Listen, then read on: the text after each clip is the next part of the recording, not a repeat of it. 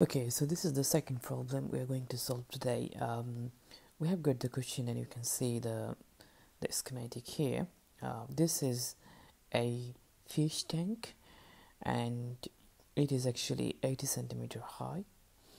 So the height is given 80 centimeter and we know the, the dimension is given it is 2 by 0.6 meter. So the tank, uh, this fish tank initially it is filled like this. Okay so this is partially filled and this is the water here. So um, you can you can read this question here. This is partially filled with water to be transported on the back of the truck.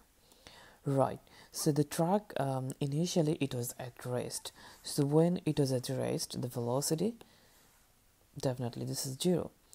And it accelerates you know 0 to 90 km per hour in 10 seconds. So we all know the acceleration is the change of the velocity with respect to the time. So this is the velocity initially when the time it was t equal 0 then it was 0 kilometer per hour and in 10 second it races 90 kilometer per hour so there's some sort of changes and this is actually the acceleration so we'll calculate it if it is desired that no water will spill during the accelerations, determine the allowable initial water height in the tank. So what will be the you know the the initial water height? So we'll calculate the initial water height and we do recommend the tank to be aligned with the long or the short side parallel to the reaction of the motions. Yeah, so that's really important when we're talking about uh, the fish tanks or when you will transport it for the rigid body motions so um, you know we, we need to think about the orientation of the tank because this is important to control the, the vertical rise of the water and to you know control the spilling of the water. So here we'll just um, solve this question.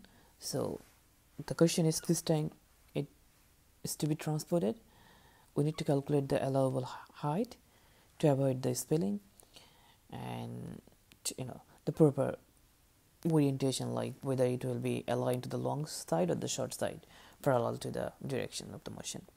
So initially we'll write it down that okay um, we'll, we'll use some assumptions here. So i'm not just going to write it.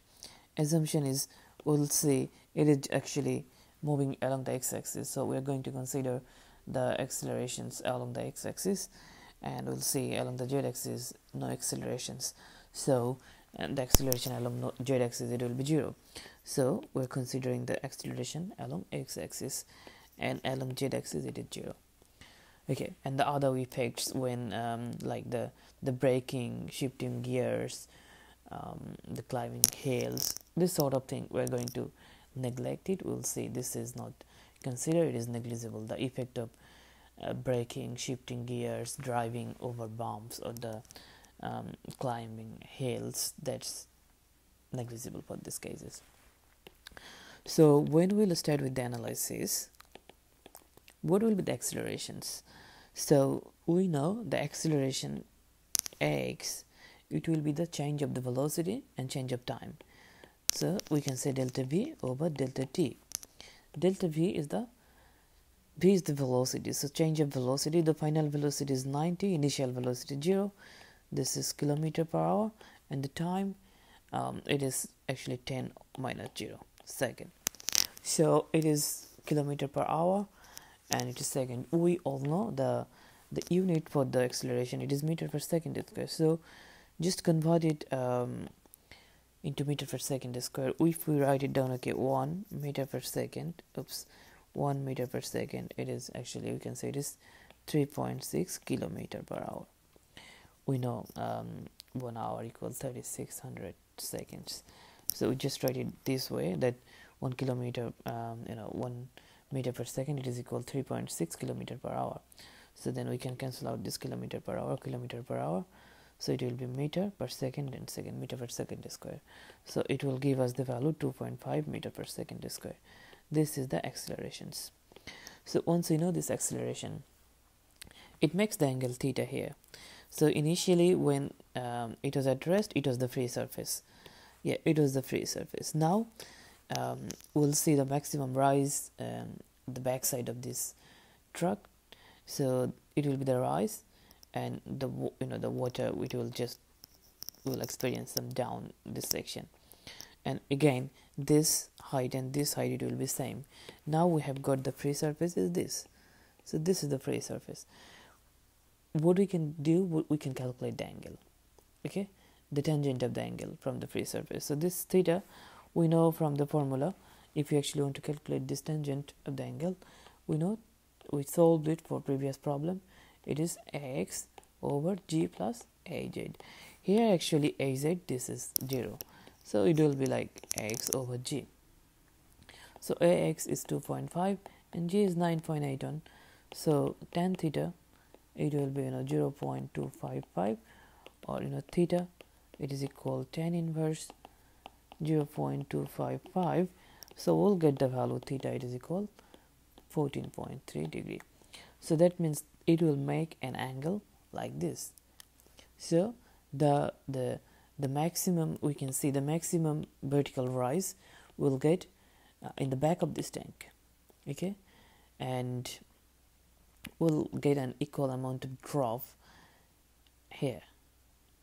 So and we'll see no changes at the center because of the symmetry. So that's um, you know the maximum allowable rise and if we get more than that if the angle is theta is more than 14.3 then what will happen? Water will spill out. So that's the first part of this problem. Now we need to determine um, the vertical rise at the back of the tank relative to the midplane for two possible orientations. So it could be it is actually the schematic. And you see in the question it is given um, uh, 80 centimeter high fish tank and the cross section is 2 meter by 6 meter. So this is the long side this is the short side okay? So which side um, we'll consider? That means we'll think about that um, two cases.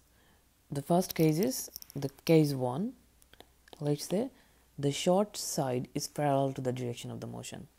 Now first case okay let's say the short side the short side of the tank. It is parallel parallel to the direction of the motion. Direction of the motion. So um, what I can tell you here is it makes angle theta. So I can just draw it like this. This is the angle theta. It makes the angle theta exactly at the center so this total length is b. So can I say it is b over 2 this is b over 2 so let's say this is b over 2 and this is um, we need to calculate this.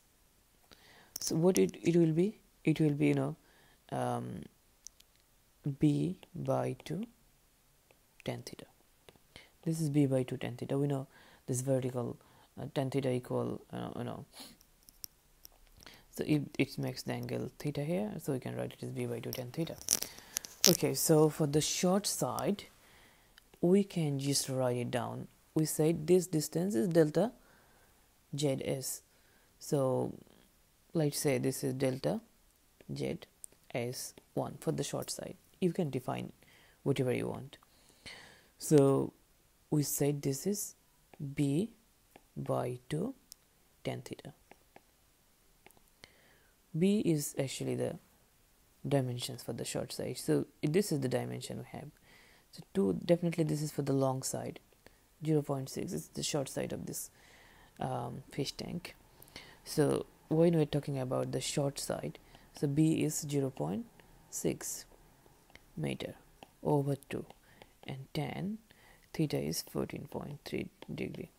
So we'll get this distance is 7.6 centimeter Similarly, when we'll calculate the the long side, that means delta z is 2.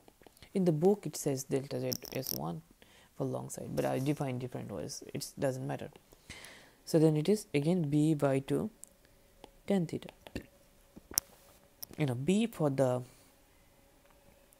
long side it is 2 meter so put it 2 meter over 2 tan 14.3 so it will give us 25.5 centimeter the distance.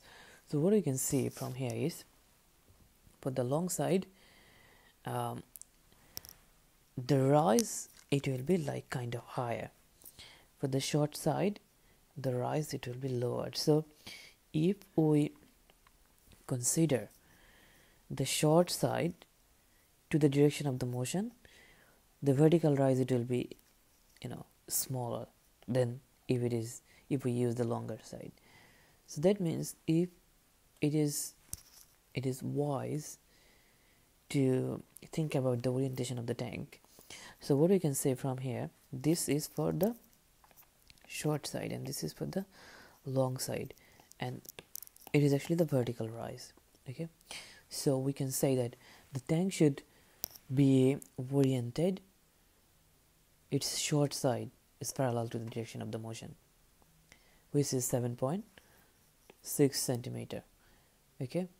And in that case the free surface level drop just 7.6 centimeter okay? And you know we can easily avoid the spilling during the accelerations. So if we use the short side is parallel to the direction of the motion then yeah that's better for this system so that's it and we'll discuss it during